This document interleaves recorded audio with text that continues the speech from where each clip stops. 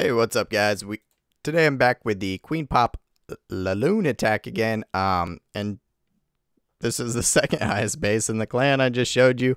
Uh, that was the Tesla moat. This is the or the diamond moat. This is the Tesla moat. So this one has the Tesla farm up top. Um, the good thing with this is it had its blowers facing down, and I kind of wanted to do an attack from the top anyway, so that works out fine.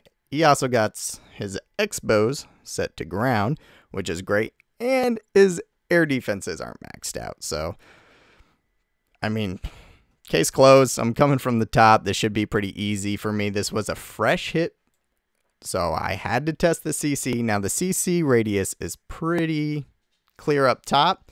Um, but I didn't want to kill one of those top air defenses. I wanted to make my triangle here so that the hounds, these two are far apart. So I knew this hound would automatically fly over there.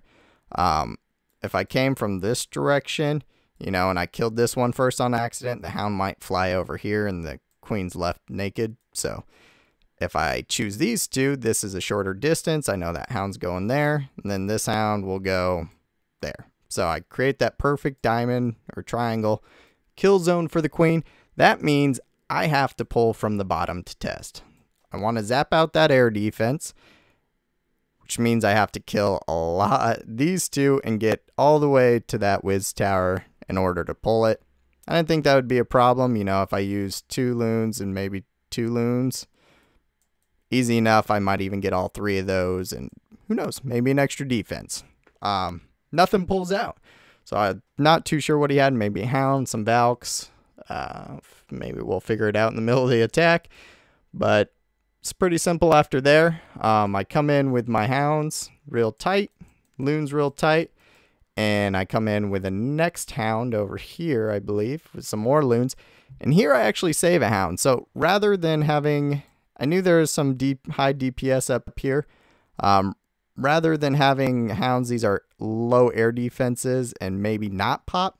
I stick a hound, I come in from the backside in order to come from behind this whiz tower.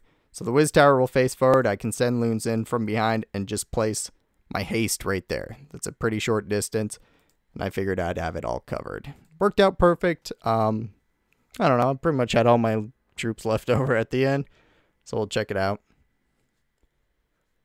come in and uh, throw my earthquake. You saw how I threw it, set it on that whiz tower because I wanted to weaken all those defenses. Um, easier for my loons to kill them when I'm trying to pull it here. So you saw I came in on the cannon first, turned that archer tower because I knew the whiz tower would be firing as well. Picked up black bomb there, which is pretty good. Picked up another one and a red bomb and another red bomb. So I am happy. And another black bomb. Nothing comes out, and I know now that I have cleared this base of so many bombs that I have to be careful. Might not provide enough DPS for what I'm trying to do. Now, right here, people are asking, when do you lay your spells? So you can see it is about timing, guys. I get my loons in to where they're pretty much over the hound. All the defenses are firing on the hounds, and I'm watching. Right as my hound pops, first one popped right there, boom, boom, boom, boom, and my loons are over. I throw that rage in so that my loons will pass, try to pass the pups so the pups are clear, and the pups can be killing in on the on the queen there. So there we go. Two hounds down. Pups are flying in. I come in with my next two hounds. I didn't even set my four hounds here because how weak this base is. Now I come in with a hound over here. Um, I meant to set three, two here and one here, but I kind of forgot in the middle of it, and I wanted one to come over here. I believe that might cause kind of a problem here. We'll wait and find out.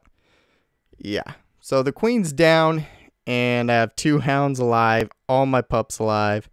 Um, my heroes, now I just threw them in for the first time to start cleaning, but I still have two full hounds alive with everything down. So I lost a lot of pups on the cleanup that maybe I would have got if I had thrown them in further. But I played it as I went along, and doesn't matter. I still had like 20 some loons there. Only lost two hounds in the entire attack. Didn't even use my heroes. And that's what I'm saying. This attack can be amazing.